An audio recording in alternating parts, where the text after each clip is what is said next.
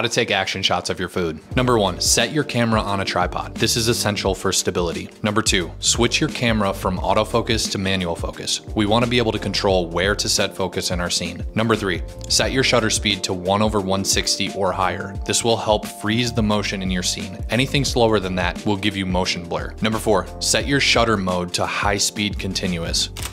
We want to be able to catch the action happening with as many frames as possible. Our odds of catching the perfect moment go up the faster we can shoot. Number five, build your scene to 99% complete. Everything needs to be ready to go minus the action. Number six, hold a business card or object where you know the action will take place and manually focus in on that point. Look at your screen to make sure that that point is crisp and in focus. Number seven, action. Let her rip here and hold down your shutter while you're performing the action so you get the shot. Experiment with different foods and scenes and you'll be a pro in no time. This is exactly